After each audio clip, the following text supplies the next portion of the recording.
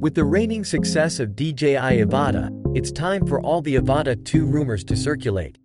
The release of the DJI Avata opened up all the possibilities for a camera drone at just 410 grams. The DJI Avata could be operated in the A2 subcategory with an A2 COFC in the A3 subcategory. And the 48 megapixel sensor always proves a point with crisp details.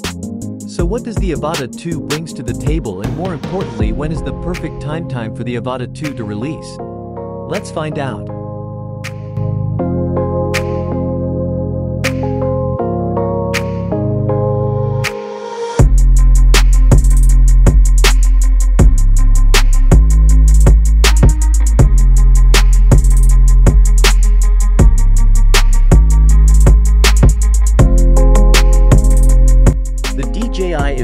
Is a great choice for those who want to delve into the exhilarating world of FPV flying. This is due to be continued with the Avata 2. Weighing approximately 410 gram, this lightweight and compact drone is perfect to bring on the go.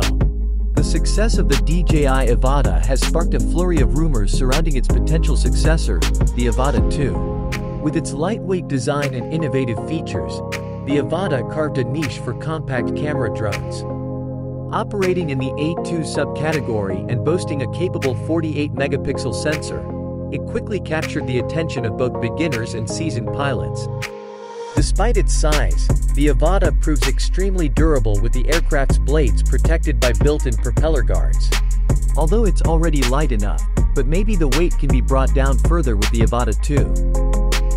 For videographers capturing expansive landscapes or adventurous pilots tackling long stretches, even a few extra minutes can open up a world of creative possibilities. Unless they put on an upgraded sensor that is more than 48 pixels and heavier. In addition, 20 GB of internal storage serves as a backup in case any footage is lost due to memory card issues. While the current Avata offers a respectable 18-minute hover time, it seems DJI is listening to user feedback and prioritizing flight time improvements for the anticipated Avata 2. Whether the current duration truly satisfies customer needs remains a hot topic, but rest assured, pushing endurance boundaries is a clear focus for the upcoming model. Longer flight time translates to less pressure, allowing pilots to relax and focus on capturing stunning shots rather than constantly monitoring the battery gauge. Ultimately, the ideal flight time depends on individual usage patterns and priorities. With the Avata 2, it seems DJI is aiming to cater to a wider audience by offering more endurance, while acknowledging the trade-offs and regulatory considerations involved. Lastly, it's time we come down to the date. Although nothing is confirmed and only some of the specs are around the thin airs.